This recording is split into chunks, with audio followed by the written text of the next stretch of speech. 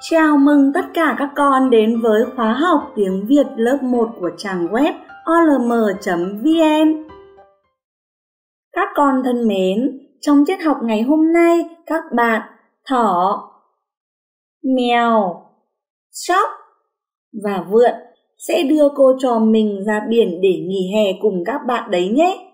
Và để biết xem kỳ nghỉ hè của các bạn đó như thế nào, cô và chúng mình sẽ cùng nhau tìm hiểu qua bài tập đọc. Ý kiến hay Và bài đọc có nội dung như sau, các con hãy chú ý lắng nghe cô đọc mẫu một lần. Ý kiến hay Thỏ và các bạn ra biển nghỉ hè. Đêm ấy, cả bọn lên bong tàu. Trăng sáng hơn đèn tuyết. Thỏ mở đàn óc, hát vang mèo tiêu nghỉu vì vừa câu hụt con cá to cũng ngoao ngoao hòa giọng. Vượn làm xiếc, tay nghều ngoào, đu trên sợi dây buồng ngoằn ngoèo.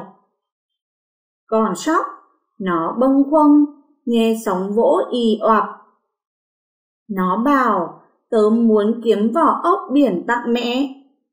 Cả bọn ồ lên, ý kiến quá hay. Bài đọc này là của tác giả Nguyễn Minh. Ở bài đọc này, các con cần chú ý nghĩa của một số từ sau. Đầu tiên đó chính là từ tiêu nghỉu. Tiêu nghỉu có nghĩa là buồn bã, thất vọng vì điều xảy ra trái với dự tính. Tiếp theo đó chính là từ kiếm. Kiếm ở đây có nghĩa là tìm kiếm, Cô cho mình hãy nhanh chóng chuyển sang phần luyện đọc nào. Để đọc tốt bài đọc này, các con hãy cùng với cô luyện đọc các từ khó nhé. Và các từ khó có trong bài như sau. Bờ ong bong, tờ ao tàu huyền tàu, bong tàu. Đờ en đen huyền đèn, tờ uyếp tuyết sắc tuyếp, đèn tuyếp.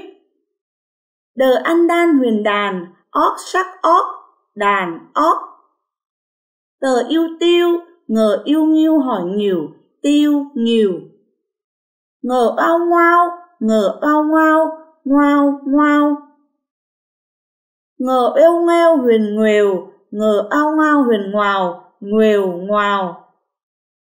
Ngờ ân ngoan huyền ngoằn, ngờ eo ngheo huyền ngoèo ngoằn ngoèo bờ ông bâng, khở uâng khuâng bâng khuâng y huyền ì oát nặng oạp ì oạp các con hãy dừng video lại và đọc cho cô các từ này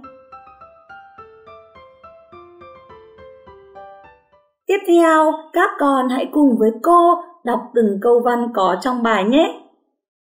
Ý kiến hay Thỏ và các bạn ra biển nghỉ hè. Đêm ấy, cả bọn lên bong tàu. Trăng sáng hơn đèn trip. Thỏ mở đàn óc, hát vang. Mèo tiêu nhiều vì vừa câu hụt con cá to, cũng ngoao ngoao hòa giọng. Vượn làm xiếc, tay nguều ngoào đu trên sợi dây buồm ngoằn ngoèo.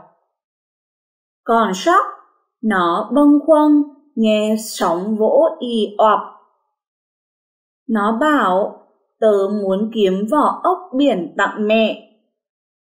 Cả bọn ồ lên, ý kiến quá hay. Các con hãy dừng video lại và đọc cho cô toàn bài này. Trong bài đọc này gồm có rất nhiều từ khó đọc, vì vậy các con hãy luyện đọc thật nhiều để có thể đọc thành thạo bài đọc này nhé. Và bây giờ cô trò mình sẽ cùng nhau sang đến phần tìm hiểu bài để biết được rằng các bạn đã có kỳ nghỉ hè như thế nào nhé. Và để tìm hiểu điều đó, các con hãy suy nghĩ và trả lời cho cô một số câu hỏi sau. Thỏ và các bạn ra biển nghỉ hè. Đêm hôm ấy, các bạn lên bong tàu chơi trăng sáng hơn đèn tuyết. Vậy các bạn đã làm gì ở trên bong tàu? cô trò mình sẽ cùng nhau tìm hiểu điều đó nhé. Đầu tiên, các con hãy cho cô biết thỏ làm gì?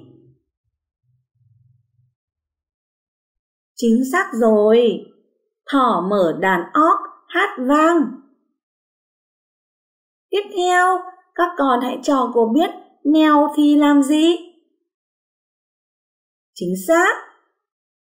Mèo tiêu nghỉu vì vừa câu hụt con cá to cũng ngoao ngoao hòa giọng hát cùng với thỏ đấy. Tiếp theo, các con hãy cho cô biết vượn làm gì nhỉ? Chính xác rồi, vượn thì làm xiếc, tay nguều ngoào đu trên sợi dây buồng ngoằn nghèo đấy. Vậy con sóc làm gì nhỉ? Chính xác rồi, còn sóc thì nó bâng khuâng nghe sóng vỗ y oạp. Nó bảo tớ muốn kiếm vỏ ốc biển tặng mẹ. Vừa rồi, cô và các con đã cùng nhau tìm hiểu xem bốn bạn đã làm gì trong đêm nghỉ hè tại biển phải không nào? Vậy bây giờ các con hãy cho cô biết. Các bạn thấy ý kiến của ai là một ý kiến hay? Chính xác rồi, các bạn thấy ý kiến đi kiếm vỏ ốc biển để tặng mẹ của Shock là một ý kiến hay đấy. Đặc trưng của biển đó chính là vỏ ốc. Shop muốn mang cái gì đó của biển để về tặng mẹ. Vì vậy, các bạn đã cho rằng ý kiến của Shop là một ý kiến vô cùng hay. Các con thân mến, trong tiết học ngày hôm nay, các bạn thỏ, Shop, mèo và vượn đã đưa cô trò mình tham gia một đêm nghỉ hè tại biển của các bạn đó. Thật là thú vị, phải không nào? Cảm ơn bốn bạn nhé! Và tiết học của cô đến đây là kết thúc rồi. Cảm ơn tất cả các con đã chú ý lắng nghe và hẹn gặp lại các con trong các bài giảng tiếp theo nhé!